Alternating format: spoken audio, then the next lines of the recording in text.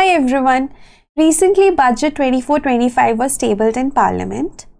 Now in this video, we will be looking at the environmental aspects of the budget because they can be quoted in your mains answers as per the requirement.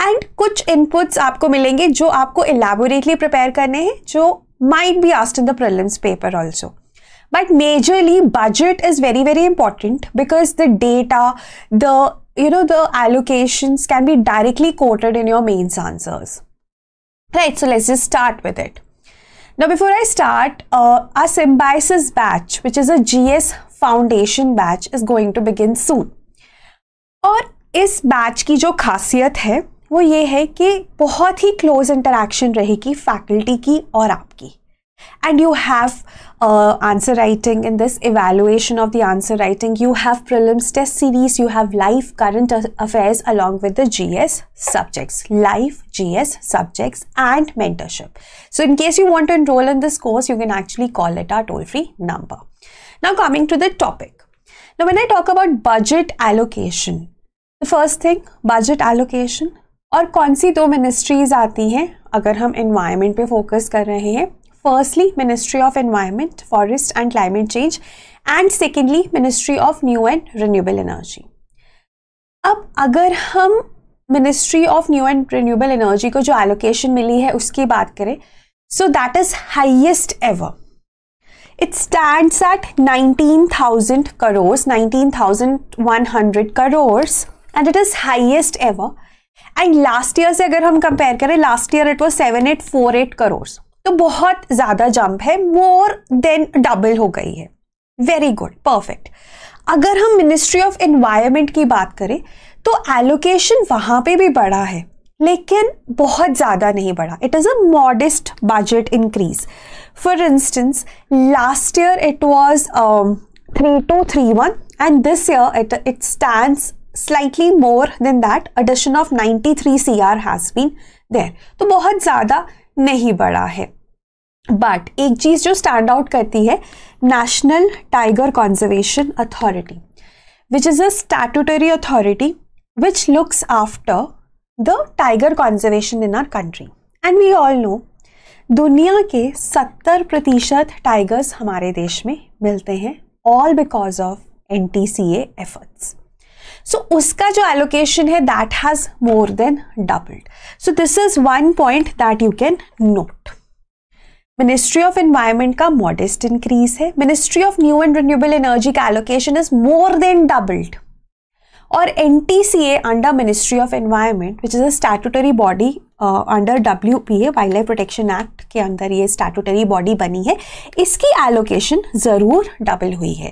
तो एक तरह से ना आप ये कह सकते हो कि एक ही स्पीशीज़ पे बहुत ज़्यादा फोकस है, और वो स्पीशीज़ कौन सी है? टाइगर राइट सो क्रिटिसिज्म भी आप कर सकते हो कि क्लाइमेट चेंज इतना रियल हो गया है आज के एरा में और मिनिस्ट्री ऑफ़ एनवायरमेंट को उसके कमेंसरेट एलोकेशन नहीं मिला। Let's just come to each and every aspect for instance budget में बात हुई A U S C thermal power plants की। अब ये क्या होते हैं? Advance ultra supercritical thermal power plants NTPC और भेल मिलकर 800 मेगावाट्स का 800 मेगावाट्स का advance ultra supercritical thermal power plant लगाएँगे। और ये जो टेक्नोलॉजी है ना अक्रॉस वर्ल्ड भी नहीं है। इंडिया इसको डेवलप कर रहा है तो बहुत बड़ी बात है। अब इसमें हो गया क्या? जब हम advance ultra supercritical thermal power plants की बात करते हैं so in thermal power plants में यूज़ तो कोल ही हो रहा है, लेकिन जो स्टीम टेम्परेचर और प्रेशर है, वो हाई रहता है। And the conversion of coal into electricity is more मतलब ये एफिशिएंट ज़्यादा है। इनकी efficiency somewhere is around 46 percent इसका मतलब है कि जो पुराने थर्मल पावर प्लांट्स हैं, उनसे ये ज़्यादा एफिशिएंट है। दैट मीन्स कि ये जो इमिशंस करेंगे कोल से इमिशंस होती हैं, जब हम थर्मल पावर प्लांट की बात करते हैं, सबसे बड़ा कंसर्न क्या है? पल्यूटिंग होते हैं और ग्रीन हाउस गैस इमिशंस करते हैं। तो ग्रीन हाउस गैस एमिशंस को कार्बन डाइऑक्साइड कम होगा if they will be more efficient and secondly polluting भी कम होंगे। So if you look at the this whole infographic तो पहले हमारे देश में सब क्रिटिकल था then it was supercritical then ultra supercritical and now we have advanced ultra supercritical obviously इसको हमने डेवलप करना है, इस पर रिसर्च हो रही है. But you look at the temperature it has constantly increase the pressure has constantly increase the efficiency has constantly increase तो ये जो advanced ultra supercritical thermal power plants की हम बात कर रहे हैं, इनकी एफिशिएंसी ज़्यादा है। मतलब अगर हमारे पास 100 यूनिट्स ऑफ़ कोल है तो 46 को वो इलेक्ट्रिसिटी में कन्वर्ट करते हैं compared to the sub critical जो कि 35 को ही करते थे अब जब इसमें बेसिकली एफिशिएंसी को इंक्रीज करने का जो एक सिंपल पर्पस है कि हमारी एमिशंस कम होंगी right right? So, we will have less emissions and the emission intensity of electricity will decrease, which is very very important because eventually हम क्या target कर रहे हैं कि 2070 तक हम net zero achieve कर लें। तो उन सब के लिए बहुत अच्छा है। लाइक आई सेट कि अभी 32 परसेंट एफिशिएंसी से हमने शुरू किया था। अब this means that we will have 46 percent efficiency and 11 percent reduction in coal consumption मतलब सिमिलर अमाउंट ऑफ़ इलेक्ट्रिसिटी अगर हमने बनानी है एफिशिएंसी बढ़ गई मतलब कोल का कंजम्पशन कम हो गया। कोल का कंजम्पशन कम हो गया कार्बन डाइऑक्साइड एमिशंस कम हो गई। तो बहुत ही एक बेनिफिशियल चीज़ है अगर आप कोल से ही इलेक्ट्रिसिटी बना रहे हो तो। Right right. अब इसमें वही है कि what we are looking at is that we have increased the temperature steam temperature to approximately 720 degrees celsius and pressure to 300 bars. So that means that we are aiming at 46% efficiency. Then next is nuclear energy अब nuclear energy को लेकर important चीज़ क्या है? कि जो government है that will partner with private sector and they will focus on research and development ठीक है? रिसर्च एंड डेवलपमेंट करेंगे। जो गवर्नमेंट है, वो प्राइवेट सेक्टर के साथ मिलकर research and development carry out करेगी so as to develop emerging nuclear technologies Secondly, they will also work on developing small modular reactors.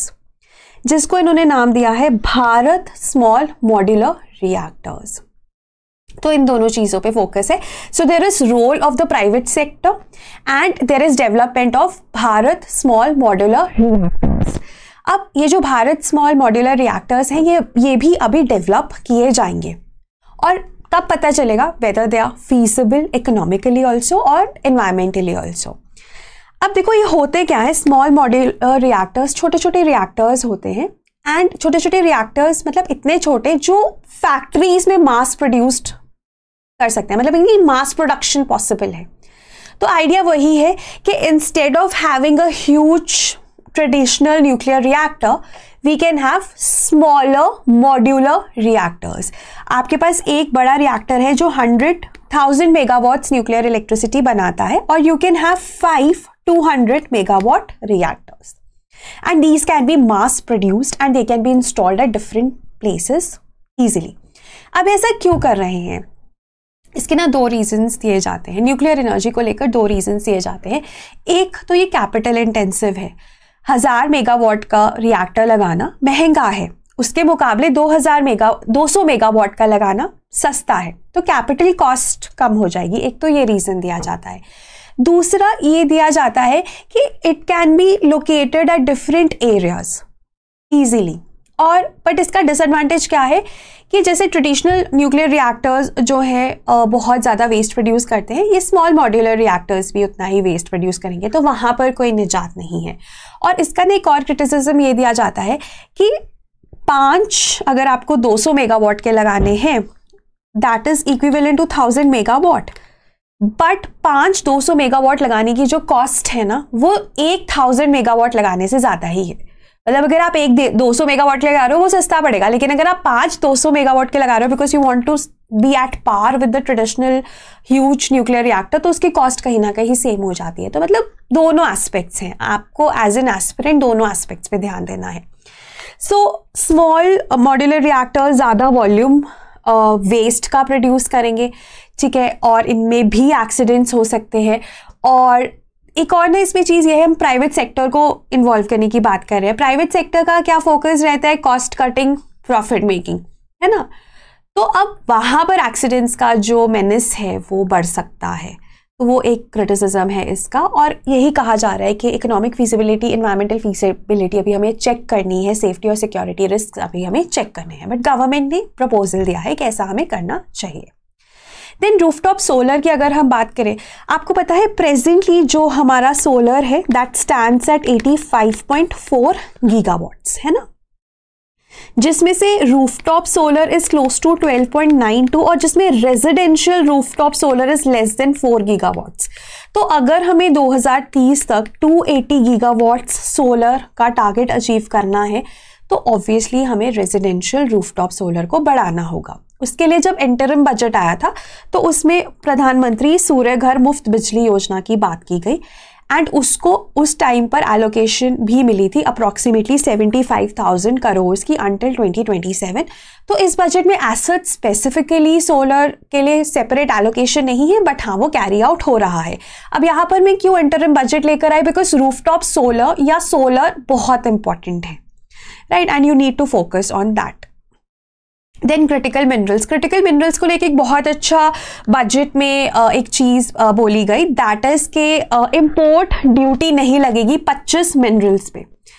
और जो लगती थी अब नहीं लगेगी। एंड अगर हम तीन इंपॉर्टेंट मिनरल्स की बात करें lithium cobalt and nickel so they are important for the manufacturing of batteries of EV EVs जो इलेक्ट्रिक व्हीकल्स हैं, उनकी बैटरीज को मैन्युफैक्चर करने के लिए लिथियम कोबाल्ट और निकल चाहिए। अब इन पे भी ड्यूटी नहीं लगेगी। अब जो ईवी e होता है ना इलेक्ट्रिक व्हीकल उसका जो 40 परसेंट कॉस्ट है, वो बैटरी के साथ एसोसिएटेड है। तो अगर हम बैटरीज बैटरीज बनती है लिथियम कोबाल्ट और निकल से तो अगर इन पे ड्यूटी कम हो गई तो बैटरी की मैन्युफैक्चरिंग की कॉस्ट भी कम हो जाएगी और जब उनकी कॉस्ट कम हो गई तो ऑब्वियसली ईवीज की कॉस्ट भी कम होगी और उनकी अडॉप्शन बढ़ सकती है। अच्छा एक और चीज़ मैं बताना चाहती हूँ, जो स्मॉल मॉड्यूलर न्यू रिएक्टर्स है ना, ये अभी सिर्फ़ रशिया बना रहा है। बाकी सब काम कर रहे हैं इस टेक पे बट अभी सिर्फ़ रशिया बना रहा है तो ये चीज़ आप प्री में नोट कर सकते हैं। Right right. और क्रिटिकल मिनरल्स uh, पे जैसे मैंने बोला कि इम्पोर्ट ड्यूटी कम हो गई है है ना? एग्जाम्प्टी हो गई है ज़ीरो ही हो गई है और ये बहुत ज़्यादा इंपॉर्टेंट है to you know compete with China also because China ने हर जगह अपना वर्चस्व फैला लिया है। देन नेक्स्ट इज़ बायोडाइवर्सिटी अब आपको पता है global biodiversity framework was announced है ना? अब ग्लोबल बायोडाइवर्सिटी फ्रेमवर्क जब अनाउंस किया गया था Kunming Montreal global biodiversity framework which was announced for this year for 2021 2030 इस टिकेट के लिए अनाउंस किया गया था कि कैसे हम बायोडाइवर्सिटी को कंजर्व करेंगे। तो इंडिया ने बहुत प्रोएक्टिवली उसमें रोल प्ले किया था, कि बोला था, बहुत सपोर्ट किया था उसको। लेकिन जो हमारी एलोकेशन है ना, वो तो कम कर दी है। है ना? जो नेशनल बायोडाइवर्सिटी अथॉरिटी है, उसकी एलोकेशन कम कर दी है। तो ये थोड़ा कंसर्निंग है, ये आप नोट कर लीजिए। उसके बाद ना, अगर हम ओवरऑल बायोडाइवर्सिटी की बात करें तो गवर्नमेंट ने उस पर ध्यान नहीं दिया है एलोकेशन कम करी है। लेकिन अगर हम टाइगर की बात करें तो आपको पता है कि जो फंडिंग है, जो बजटरी एलोकेशन है that is more than doubled ठीक है? अब ना, जैसे ये जो ग्लोबल बायोडाइवर्सिटी फ्रेमवर्क था ना, इसका एक बहुत अहम हिस्सा था कि डेवलप्ड कंट्रीज़ डेवलपिंग कंट्रीज़ को पैसे देंगी। है ना? बायोडाइवर्सिटी कॉन्जर्वेशन के लिए। अब वैसा तो नहीं हो रहा डेवलप्ड कंट्रीज़ तो नहीं दे रही तो डेवलपिंग कंट्रीज़ के ऊपर खुद पर ओनस है। मतलब इंडिया को खुद फंड करना है। लेकिन इंडिया की गवर्नमेंट भी पैसे नहीं दे रही। तो ये थोड़ा सा ट्रिकी हो गया बायोडाइवर्सिटी के केस में। फिर लास्ट है क्लाइमेट चेंज अब गवर्नमेंट ने बजट में बोला है कि क्लाइमेट फाइनेंस के लिए हम टेक्सोनमी डेवलप करेंगे। टेक्सोनमी क्या होता है? बेसिकली ना आप जिसे कहते हैं ना स्ट्रक्चर करते हो। डिमार्केट करते हो। अब यहाँ पर टेक्सोनमी डेवलप करने का क्या मतलब है कि आप ना डेफिनेशंस क्लियरली डेवलप करोगे, जिससे क्या होगा ग्रीन वॉशिंग नहीं होगी। अगर आपको पता है कि when I talk about low carbon economic development या ग्रीन फाइनेंसिंग हमें पता है क्लियरली क्या होता है उसका मतलब उसमें कौन से कौन से प्रोजेक्ट्स आएँगे, कौन से कौन से नहीं आएँगे तो ग्रीन वॉशिंग नहीं होगी। तो टेक्सोनमी डेवलप करने की बात की गई है इस साल के बजट में और यूएनईपी तो पहले से कह रहा है कि सबको डेवलप करना चाहिए तभी फंडिंग होगी इन ग्रीन प्रोजेक्ट्स और इनफैक्ट आरबीआई इस पे काम भी कर रहा है और पब्लिक सेक्टर बैंक्स और एनबीएफसी जो भी लोन्स uh, देते हैं ना फाइनेंस करते हैं उन्होंने भी बोला है कि आपको क्लियरली डिफाइन करना पड़ेगा तभी फाइनेंस आएगा। ठीक है? If we are very clear that this money will go in the green project तभी बहुत सारे लोग पैसा लगाएँगे। अगर कहीं पे भी कंफ्यूजन है तो वो नहीं लगाएँगे। तो क्लाइमेट फाइनेंस को और बढ़ावा देने के लिए टेक्सोनॉमी डेवलप करने की बात की गई है। Proper structuring and proper definitions right? So that is there so that was regarding the budgetary allocations and the environmental aspect अगर आपको सही लगा हो and you want more on this, so subsequently आपके और लेक्चर्स भी आएँगे but you have to comment first कि आपको ये सही लगा। एंड देन लास्ट में मैं ये कहना चाहूँगी, हमारा 2024 के लिए मेंस का क्रैश कॉस्ट भी है। ना this is a content based course no मैंने इसे कंटेंट बेस्ड कोर्स इसमें ये नहीं है कि आपको कंटेंट से लोड कर दिया जाएगा। इसमें आपको समरी प्रोवाइड की जाएँगी फ्रेमवर्क्स प्रोवाइड किए जाएँगे ready to use content in mains provide किया जाएगा of all the four GS papers of all the four subjects. The focus is more on let's say themes rather than standalone components. और अगर आप इसमें enrol करना चाहते हैं again you can call on our toll free number that is one eight double zero eight nine zero three zero four three that was all from my end thank you so much have nice day